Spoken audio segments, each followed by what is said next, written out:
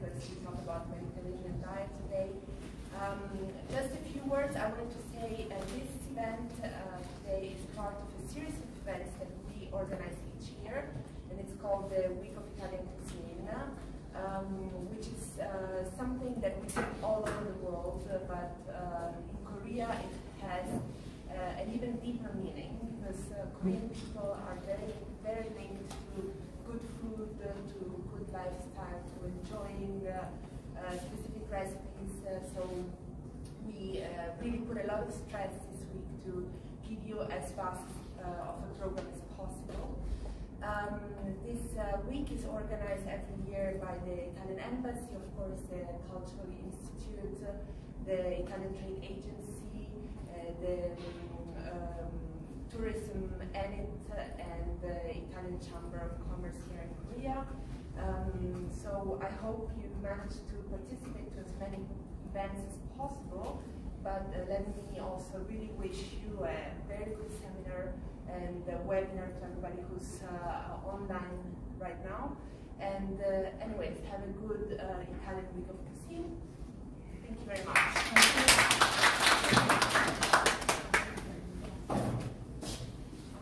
So I'm very pleased to open this event that Mediterranean diet, which has the roots of the early Italian culinary tradition. The event takes part, as Chiara said, of the Week of Italian Cuisine in the World, which this year reaches its sixth edition for six years. Every year, so we stress our theme, important course for our country. The theme presented this year concerns the tradition and perspectives of Italian cuisine, awareness and enhancement of food sustainability. It is not only important to make our products and our way of cooking well known, but it is essential to promote awareness of the Italian cuisine history eh, and its tradition, particularly through our international agriculture and food representatives uh, to disseminate it and transmit as well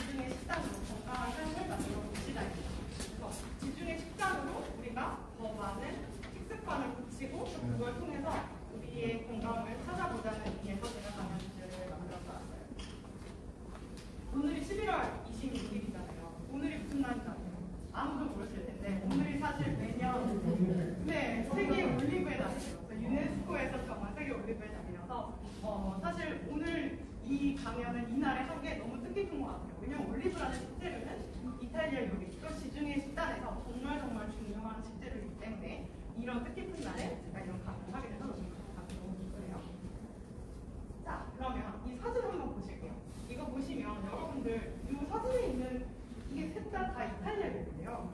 한 번쯤은 다 어디선가 드셔보신 요리 아닌가요?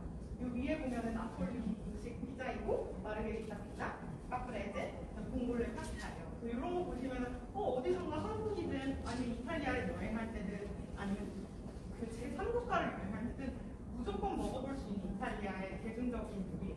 근데 사실 여러분들 이거 보면 어 나는 이 요리 너무 잘 아는데 싶으시면 여러분들은 이미 지중해 식단을 잘 알고 계십니다.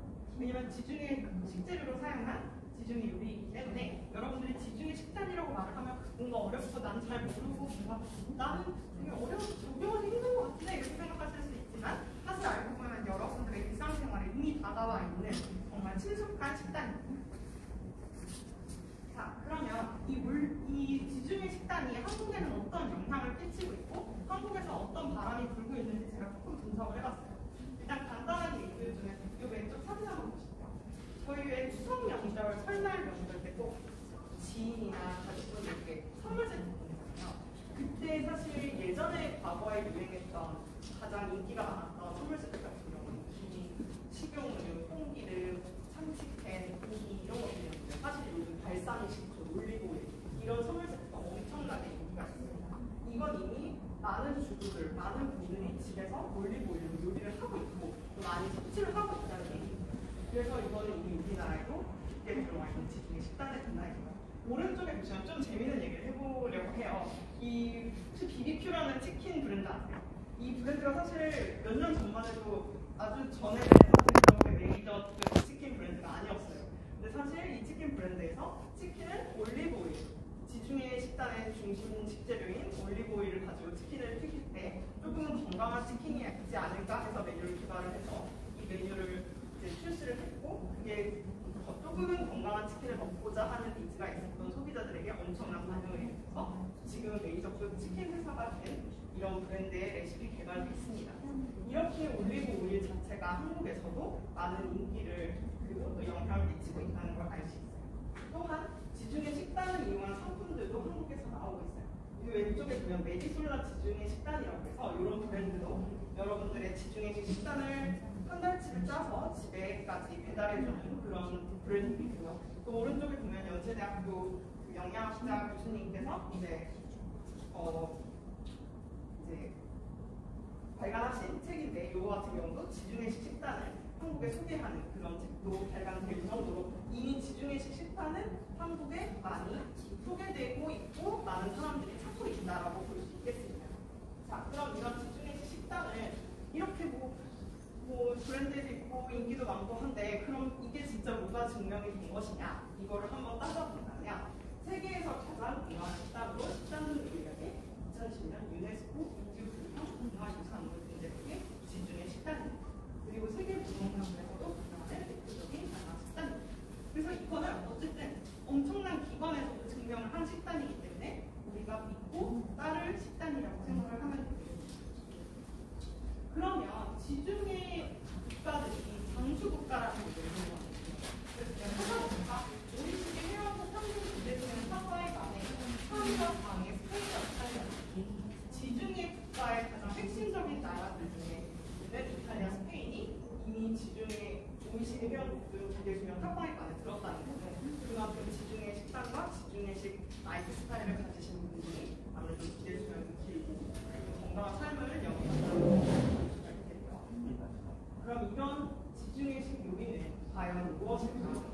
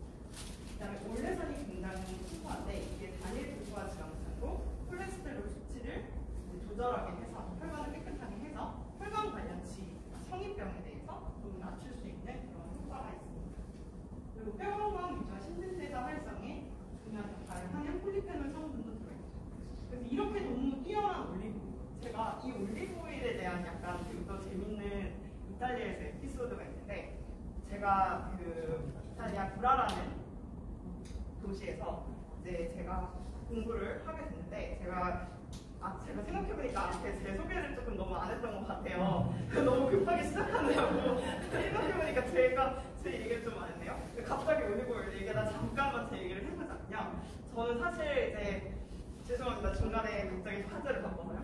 저는 사실 이제 원래 한국에서 대학에서 식품 영양학을 공부를 했고요. 그러고 나서 이제 요리가 너무 하고 싶고 요리에 대한 꿈이 있어서 뉴욕에 있는 요리학교에서 조리학을 공부를 했습니다. 그리고 스페인과 미국 등지에서 이제 요리사로 활동을 하다가 한국에 들어와서 이제 기업, 식품 기업과 외식 기업에서 이제 메뉴 개발 팀 연구원을 일을 하면서 레시피 개발 업무도 하고 상품도 개발하는 업무를 하다가 제가 그렇게 한 5년 정도 일을 하다가 어, 대량 생산화된 그리고 약간 어, 가공 상업화된 가공식품에 대한 약간의 회의감 같은 게 조금 들기 시작을 한 시기가 있었어요. 그리고 제가 그 시기가 한 30대 초중반 중반 시기였는데 그때만 해도 약간 제가 음식에 대한 일만 하고 음식에 대한 공부만 너무 오래 하던 시기였어서 약간은 지쳐있는 상황에서 내가 좀이 sustainable food, 그러니까 지속 가능한 음식, 그다음에 슬로우 푸드, 진정한 이탈리아 식문화 이런 걸 좀 배우고자 해서 회사를 때려치고 이탈리아로 갑니다. 그래서 이탈리아의 피에몬테라는 지방에 브라라는 슬로우 시티에 있는 미식과학대학교에서 제가 식문화와 이제 슬로우 푸드를 조금 공부를 하고 한국에 들어왔어요. 제가 1월 올해 1월에 들어왔습니다. 그래서 1월에 들어와서 이제 뭐 여러 가지 일도 하면서 이탈리아 카페 컨설팅도 하고 지금은 제 cooking 스튜디오에서 요리도 가르치고 또 다양한 강의도 하고 있습니다. 근데 제가 이 얘기를 왜 했냐면 제가 그래서 이탈리아에서 공부를 하던 시기에 있었던 에피소드를 만들기 말씀드리고 싶어서 얘기를 해봤어요. 그래서 제가 이탈리아에 있을 때 제 친구가 저희 반에 있는 친구 한 명이 시칠리아에서 온 친구 한 명 있었어요. 근데 그 친구가 저한테 어 오늘 너 우리 집에 와서 나랑 같이 샐러드 만들어 먹을래? 그래서 어 좋아. 이랬는데 내가 그 샐러드에 올리브 오일을 넣을 건데 그 올리브 오일이 우리 할머니가 시칠리아 농장에서 딴 올리브로 만, 재배한 올리브로 짜서 그 올리브로 자기가 가, 브라까지 가져와서 그 올리브를 사, 사용할 것이다 이렇게 얘기를 하는 거예요. 그 말을 딱 듣는 순간 제가 든 생각이 어 마치 한국에서 시골에 계시는 할머니가 깨를 재배하셔가지고 볶아서 그걸 짜가지고 한국 서울에 있는 식구들한테 보내주는 것 같은 너무 똑같은 문화인 거예요. 아, 그렇구나. 역시 이탈리아에서 올리브 오일의 존재는 한국의 참기름과 동일하고 그거보다 더한 것일 수도 있겠다 이런 생각을 했어요.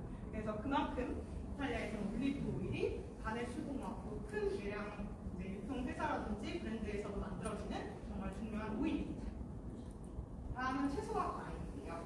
그 채소와 과일은 제가 다양한 설명보다는 이미지를 좀 넣어봤어요. 이 이미지 중에 제일 제가 좀 중요하게 설명드리고 싶은 게 첫 번째 이건 여러분들 이탈리아 요리하면 토마토 딱 생각나지 않아요? 왜냐면 토마토 소스로 끓여서 뭐 파스타 소스로 만들고 피자에 소스로 만들고 생토마토를 잘라서 샐러드에 넣기도 하고 너무 다양한 방법으로 토마토 요리가 많이 나와 있기 때문에 정말 정말 중요한 식재료입니다. 두 번째는 가지인데요. 사실 한국에서 이제 한국에 소개되어 있는 대부분의 이탈리아 요리 중에 가지 요리가 사실 그렇게 많지는 않아요. 근데 사실 실질적으로 이탈리아에 가보면 정말 많은 가지 요리들이 있습니다. 뭐 튀기고, 찌고, 오븐에 굽고, 파스타에 넣고, 피자 위에 토핑으로 올리고 정말 많은 방식으로 가지 요리들이 있거든요. 가지 또한 그 지중해 국가와 이탈리아에서도 많이 먹는 중요한 식재료입니다.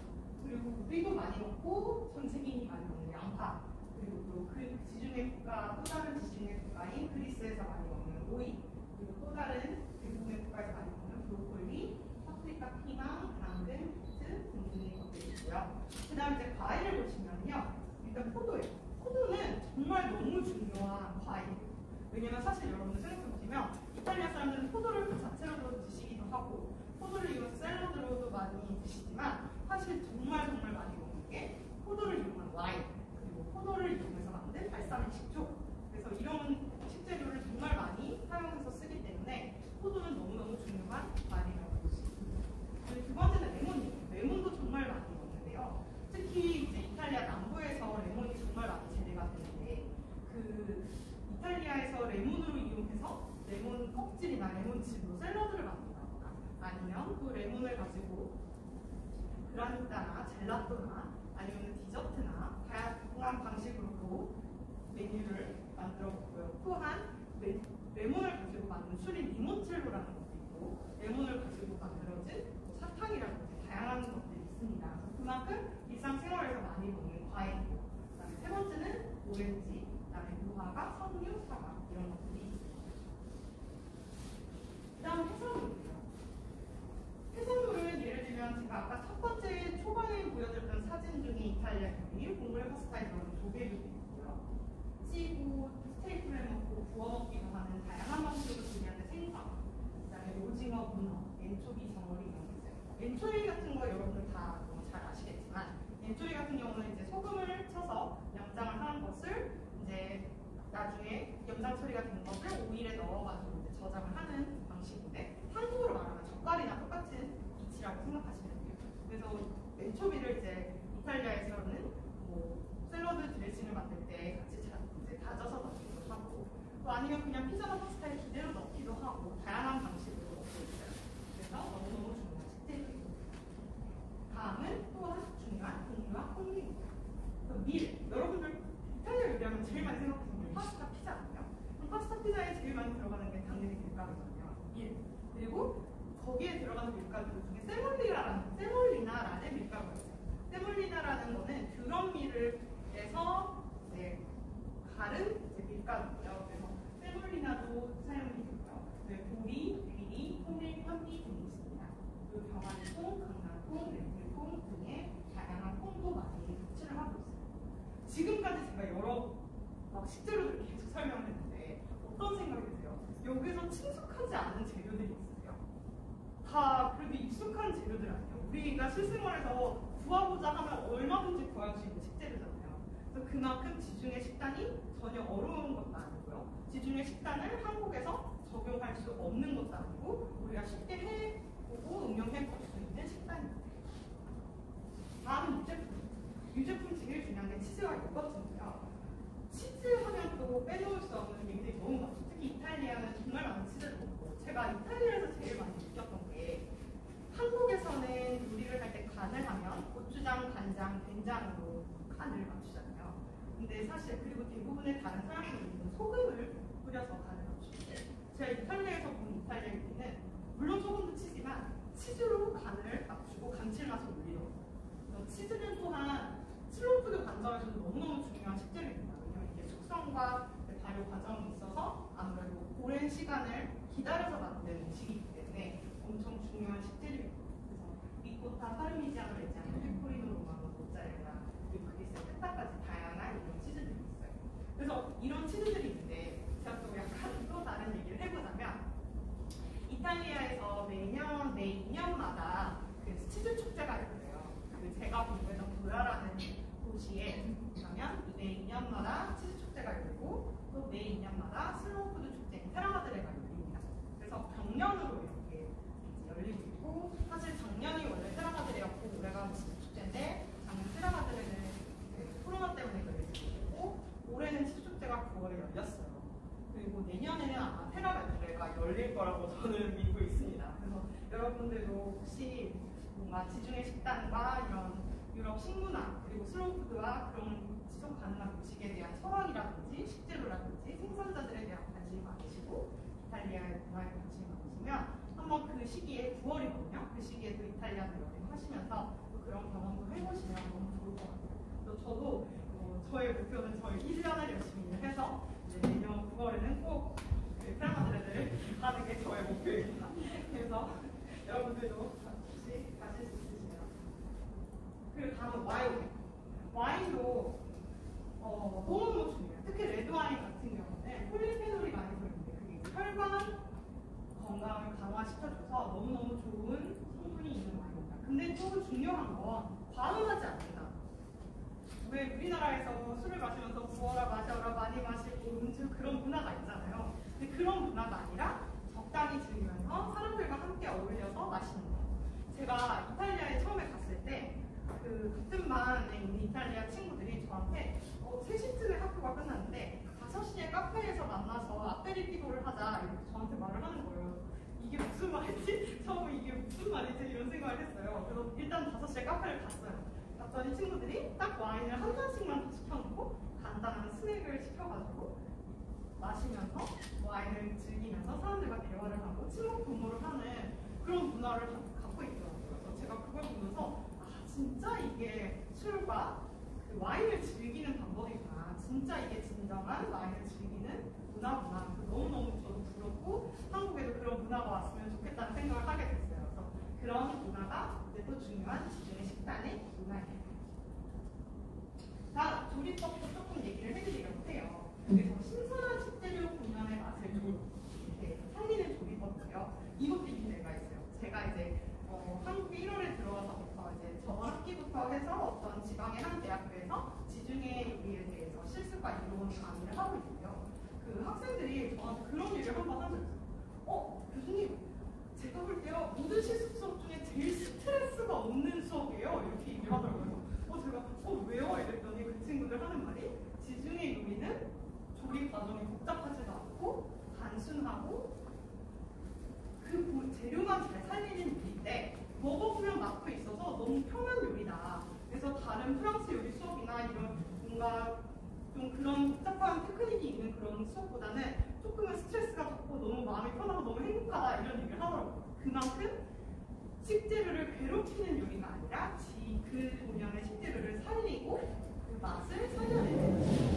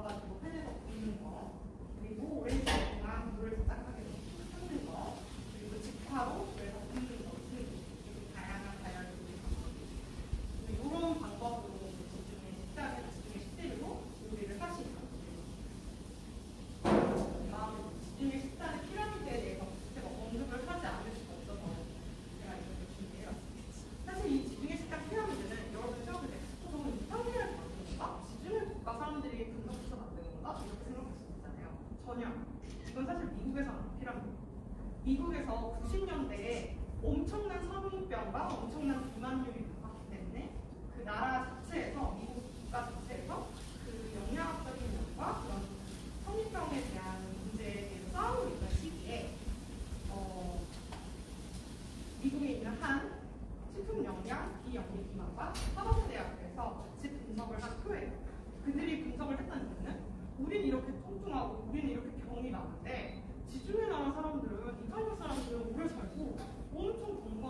행복한 삶을 영위하는 것 같아.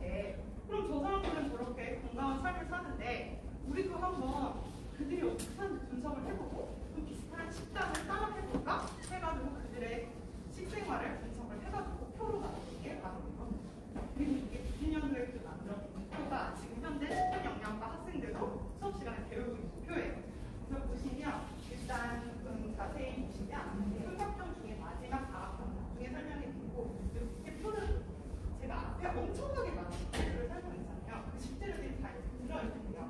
그 중에 첫 번째가 과일, 채소, 풍류, 근류, 올리브 이게 가장 삼각형에 가장 많은 부분을 차지하고 있기 때문에 이 식품군을 가장 섭취를 하는 그 다음이 생선이나 이런 해산물이고요. 그 다음이 각은 닭과 같은 마늘류, 치즈 이런 소재들. 그리고 마지막으로 가장 적게 제한적으로 섭취하는 게 당류와 육류입니다.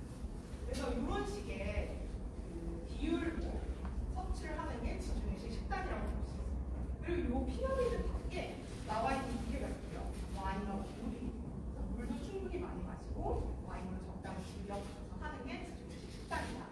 이게 바로 식품에 대한 피라미드 설명인데요. 요 밑에 부수적으로 아래 베이스로 다각형에 그려져 있는 그림을 한번 보세요. 이게 뭐냐면 지중해 사람들의 식생활, 그래서 어떻게 생활을 하느냐. 혼자 밥을 먹는 게 아니라 사람들과 같이 어울려서 행복한 마음으로 식사를 하고 평소, 평소 생활에서 좀 더 활동적이고 운동도 많이 하는 활동적인 생활을 하는 그 베이스와 함께 이루는 식품을 섭취하는 게 지중해식 식단의 중요한 요소라고 볼 수 있습니다. 네. 제일 피라미드 꼭대기에 있는 고기 위에 있는 게 뭐야? 당류, 당류, 그러니까 달콤한 거 있죠? 뭐 디저트나 여기 이제 아이스크림 같은 거 있거든요. 네. 그래서 그런 달콤한 것들이나 종류는 조금 적게 제한적으로 섭취하는 것들. 그래서 요거까지 해서 지중해식 식단을 좀 봤는데 조금 장점에 대해서 약간 더 설명을 해드리자면 이제 단백질 섭취 방법이 육류 같은 거, 고기보다는 생선이나 해산물들로 이제 식물성 단백질을 섭취하고 있습니다. 또한 많은 채소, 과일을 섭취하고 올리브 오일을 많이 사용을 하다 보니까 동물성 지방보다 생물성 지방들을 지방을 많이 섭취를 하는 하기 때문에 불포화 지방산을 많이 섭취하게 되고 그러다 보니 콜레스테롤 수치가 많이 높아지지 않겠죠. 그래서 그들이 건강한 거고 또한 가장 중요한 게 아까 선생님께서 말씀하시던 이런 것들을 제한하는 설탕, 설탕 첨가식 정제된 고 기, 정제된 기름, 가공식품 그런 것들을 적게 먹습니다. 그러다 보니까 이 성인병, 성인병 발병, 발병률이 다른 과의 국가들에 비해서 낮을 수밖에 없고 상승가 될 수밖에 없는 것 같아요. 이렇게 너무 뛰어난 지중해식 식단입니다. 그러면 여러분들 막막 설명했는데 이거를 어떻게 나의 삶에 녹여볼까를 조금 제가 설명을 조금 저 마음대로 지어봤어요. 그래서 제 마음대로 지어봤는데 일단 첫 번째 당신의 식사에 대해 생각해봐. 이거는 무슨? 그냥 여러분들이 생각을 해보면 내가 요즘 근래 먹었던 음식들이 뭐지? 내가 특히나 고기를 너무 많이 먹었나? 아니면 내가 너무 탄수화물을 많이 먹었나? 그래서 좀 내가 자주 섭취하고 적게 섭취하는 식품군에 대해서 가서 분석을 해보는 거죠. 두 번째, 보통과 정관의 키다. 이게 무슨 말이냐면 너무 과해서 적어도 안 된다. 그래서 어느 정도의 중립을 지키면서 다양한 거를 많이 먹어야 한다. 세 번째, 이거는 너무 슬로푸드의 개념하고도 중요한 건데 제철 식재료와 신선한 식재료, 로컬 푸드를 섭취하는 거. 그리고 매일 풍류와 분류를 섭취하는 거. 더 많은 해산물을 먹고 더 적게 적생과일을 섭취하는 거. 그리고 맛을 내기는 비율을 사용하는 거. 어, 분명히 육류 적게 먹는다고 했는데 이게 무슨 말이죠? 이렇게 하면 되는데 그러니까 육류를 먹기 위해서 고기를 먹기 위해서 고기를 딱 섭취하시는 게 아니라 맛을 조금 내기 위해서 감칠맛을 내기 위해서 고기를 조금 음식에 더하라는 거죠. 그 고기 자체를 많이 섭취하는 게 아니라 맛을 내기 위한 고기를 사용하는 것이다. 이렇게 생각하시면 됩니다. 그리고 신선한 과일을 섭취하고 후식을 위한 장면을 주의깊게 선택하고 음식을 골고루 다양하게 드셔야 합니다. 이렇게 제가 한번 정리를 해봤고요. 오늘이 이탈리아 문화원에서 하는 행사잖아요. 너무 중요한 거는 식단에 대해서 얘기를 하는 거지만 또 중요한 건 이탈리아 요리에 대해서 제가 얘기를 안 해볼 수가 없겠죠. 그래서 제가 음, 짧고 간략하게 어, 요약을 해보면 일단 이탈리아 요리, 지중해 국가의 중심이고 지중해 국가의 핵심이라고 보면 되겠죠. 그리고 지, 이탈리아 요리는 어쨌든 여러분들도 아시겠지만 세계 어느 나라를 가도 어디에나 있는 이탈리아 요리고 어디에나 가도 있는 이탈리아 요리. 그만큼 전 세계인이 열광하는 요리고 너무 뛰어난 요리라고 볼수 있겠습니다. 그 이런 지중 이탈리아 요리는 올리브, 토마토, 치즈, 소도, 레몬 이런 식물성 재료, 조개, 생선 등의 해산물을 이용한 다양한 조건 배달에 있고 우리가 알고 있는 전통 이탈리아 파스타 피자에 들어가는 그런 식재료 포도, 치즈, 가지, 무 등등 그런 토마토 이런 것들이 다 지중해 식단의 중요한 재료라고 볼 수 있습니다. 그리고 특히 이탈리아 남부 요리, 특히 시칠리아 요리는 이탈리아의 지중해 요리의 꽃이라고 또볼 수가 있겠죠. 그래서 여기 사진을 보시면 요 밑에 보면 파스타라 노르마라는 시칠리아 지방의 고유의 파스타, 가지랑 토마토가 들어간 파스타도 있고요. 또 생선을 튀긴 이런 요리도 있고. 그래서 여기 보시면 이탈리아 지도의 각 지방마다 나는 고유의 식재료들이 막 그려져 있어요. 이것들이 다 지중해 식재료들이 이렇게 전 북부부터 남부로 나오고 다 생산되고 있다는 걸 볼 수가 있습니다. 그러면 지중해 국가 사람들의 생활 습관에 대해서도 간단하게 좀 얘기를 드려보려고 해요. 일단 너무 중요한 거 사람들과 어울려 사는 거. 혼자 고립돼서 사는 게 아니라 같이 함께 재밌게 즐겁게 사는 거. 또 혼자가 아닌 사람들과 함께 즐겁게 식사하는 거. 사실 요즘 한국에서 제일 유행하는 게 혼밥이잖아요. 저도 가끔 혼밥을 하지만 혼밥을 많이 이제 사회 현대 사회에서 많은 분들이 할 수밖에 없는데 사실 이 지중해 식단이 너무 뛰어난 요소가 사회적인 식단이라고 말해요. 즉 사람들과 어울려서 같이 먹고 그 사회성을 키우는 그런 식단이라고 말을 합니다. 그래서 너무 중요하고 또한 활동적으로 사는 거, 일상 생활을 잘 하는 거, 또 일상생활 속 많이 걷고 더 많이 움직이고 그런 것들 그리고 조용한 시간을 즐기고 여유를 찾는 거 그런 릴렉스를 하는 시간들을 말하죠. 이탈리아에서는 그걸 리포조, 아무것도 안 하고 이렇게 쉬는 그런 리포조, 그리스에서 레시메니 이런 식으로 그런 시간들이 있습니다. 그래서 마지막으로 제가 이제 가장 중요한 오늘의 이제 중요한 또 가장 어려운 부분에 대해서 조금 설명을 해드리려고 해요. 그래서 사실 지중해 식단은 이렇게 정말 중요한 식단이고 이탈리아 요리는 지중해 식단의 핵심이고 이런 거에 대해서 앞으로 앞, 앞에서 많이 설명을 드렸는데 어, 사실 이 아무래도 지금 제가 공부했던 것도 이제 슬로푸드를 슬로푸드 협회에서 설립한 학교였고 그래서 제가 이제 그 부분을 공부를 했지만 사실 굉장히 어렵고 굉장히 중요한 이슈고 사안인 것 같아요. 그래서 지속 가능성이라는 걸 우리가 어, 살아가면서 배제할 수 없는 부분인데 우리가 지금 먹고 즐기고 마시는 이 식품들이 과연 우리의 미래에도 그걸 또다시 먹을 수 있을까요? 우리가 지금 이렇게 지금 열심히 즐기고 있는 이런 음식들이 이렇게 계속 생산하고 먹다 보면 그게 쓰레기가 되고 그걸 생산하는 과정에서 환경 오염이 일어나고 이런 과정 속에서 우리가 먹던 식품들이 미래에는 없을 수도 있고 그런 거에 대한 이제 심각성을 이제 저희가 생각하게 되고 그 미래를 위한 생각 때문에 지속 가능성이라는 철학이 나왔고 그거와 동시에 이제 슬로푸드를 중시 여겨야 한다는 가치관이 있는 것 같아요. 그래서 그런 지중해 식단과 이탈리아 요리의 그 안에서의 의미를 조금은 찾아보려고 하는데요. 일단 첫 번째 가공식품 섭취 제한 식단입니다. 일단 지중해 식단은 가공식품을 섭취를 아주 많이 안 하기 때문에 그와 그러다 보면 가공식품 생산이 줄겠죠. 그러면 이제 가공식품을 사- 생산하는 데 생기는 많은 환경 오염이라든가 가공식품을 생산하는 대량 유통 회사 그리고 대량 그 식품 회사라든지 그런 것들에 의해서 형성되고 있는 이 산업들에 대한 문제점이라든지 이런 것들이 조금은 수 있고요. 그리고 두 번째는 지중해 식단은 식물성 식재료를 많이 사용하는 식단이지만 제가 말했듯이 우리 우리 채소, 과일 이런 걸 많이 먹잖아요. 그러다 보니까 동물을 기르는 과정에서 발생되는 환경 오염을 좀 줄일 수 있겠죠. 왜냐하면 육류를 생산하려다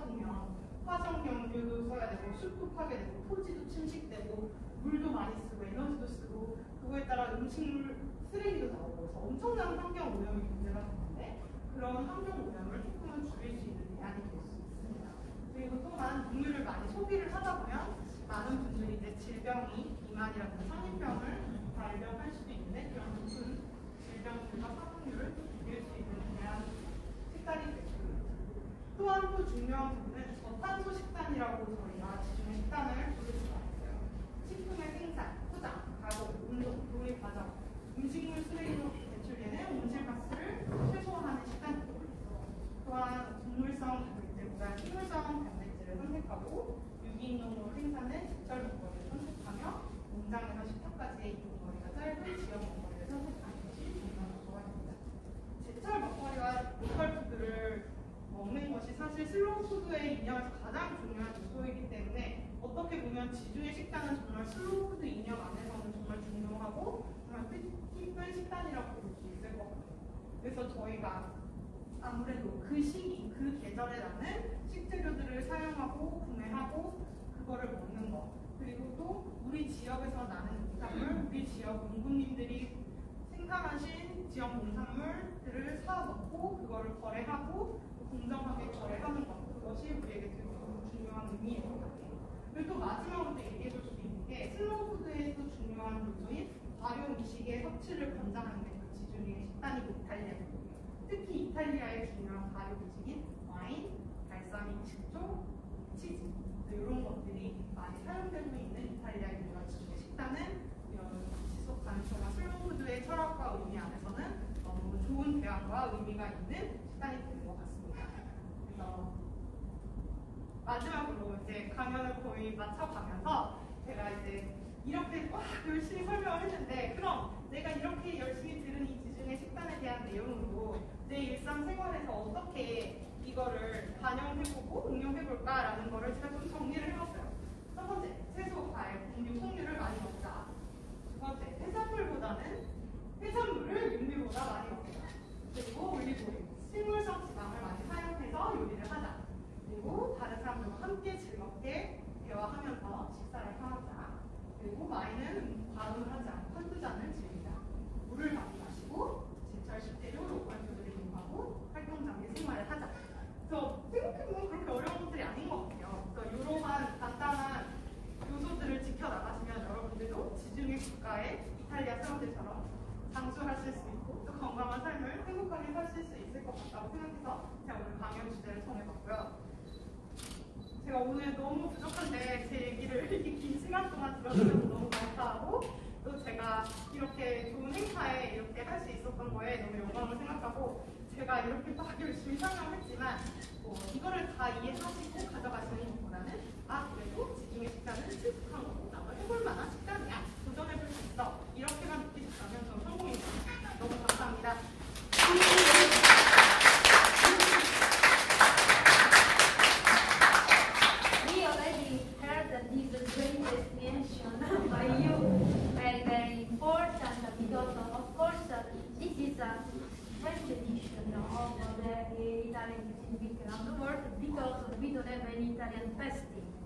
Because uh, I already had in the past, uh, you know, my experience, uh, three different editions in which people at the end of this seminar used to eat and to drink. But of course, uh, for today it's not possible because we already know why. But in our goodie bag, we put uh, just a little item of uh, Mediterranean rice, olive oil. So today we should have salads with olive oil from Italy. So you can experience really, really what that means. So thank you so much, Professor Giochi. Is there any question from the audience, maybe curiosity? Because we have this, uh, this distinguished guest and we would like to know more. Or maybe you feel, oh, I want to eat uh, maybe pasta or maybe pasta alla norma, you know? I'm from Sicily. Yes, and unfortunately I cannot make pasta alla norma because here I don't find the ricotta It's a special uh, uh, Sicilian cheese that we can buy only in Sicily. So you know. so pasta alla norma is made of very simple ingredients: pasta, basil, tomato, and egg. So the best. For me, we say piatto unico. It means you eat only this for uh, that meal. Then in the evening, of course. Thank you so much once again. You can find downstairs uh, no aperitivo, but only Italian espresso, because no wines is uh, you know, possible here. But looking forward to see you in our uh, very important cultural events at the Italian Cultural Institute here in Solva, in many fields, not only speaking about Italian cuisine. Grazie a tutti and see you soon. Ciao!